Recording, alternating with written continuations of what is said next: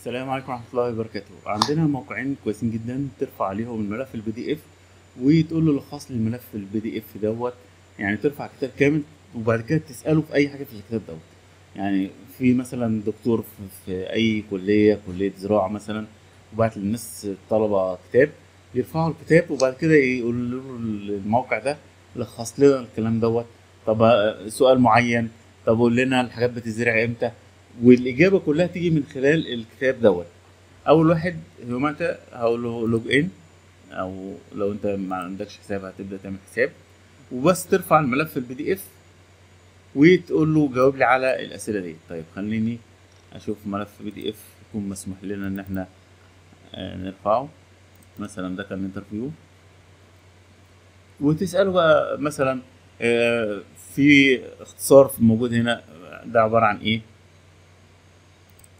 اهوت ممكن بقى تقول له بعد كده اوبن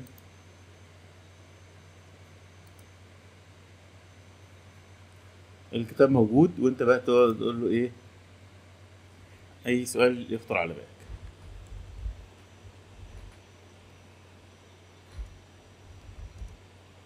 قول لي بقى بيتكلم عن إيه؟ فيجيب لك ملخص للملف ممكن يكون ملف كبير فهو يبدأ يلخصه لك. ممكن في اختصار معين انت مش عارفه ممكن في أي سؤال انت عايز تسأل فيه يبدأ إن هو يجاوب لك على الأسئلة ديت. طيب في شات بي دي اف برضو نفس الفكرة ينفع مع الطلبة ينفع في الشغل ينفع في أي حاجة مجرد إن أنت ت- ترفع الملف وتبدأ تقول له اسأل أي سؤال خاص بالملف دوت موجود في الملف دوت هو يبدأ إن هو يجاوب لك عليه. يعني ممكن ترفع له مثلا كتاب بتاع Autodesk Revit مثلا هو أي سؤال أو أي حاجة عايز تعرفها تتعلمها يبدأ إن هو يجيبها لك. بدل ما تفتح الملف وتدور فيه لا هو يديك الإجابة على طول الملخص بتاعها على طول. آه.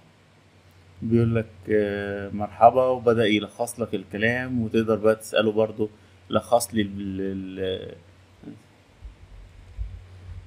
summary of PDF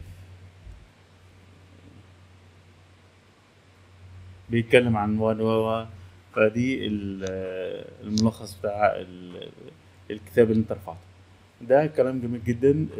الدكاترة ممكن تعمل إيه بعد كده؟ إنها خلاص مسموح إن الناس تستعين ب ChatGPT مش تقدر تقفله لكن ممكن تقول له آه، ناقش الكلام اللي انت كاتبه من ال ChatGPT. يعني اقرأ الكلام كويس ما انت ممكن تاخده copy paste من غير ما تقراه. لا اقراه كويس وكن مستعد إيه النقط اللي انت شايفها قوية أو ضعيفة في الإجابة وازاي ان إحنا نحسنها وايه الحاجات اللي عجبتك وايه الحاجات اللي انت بتنتقدها.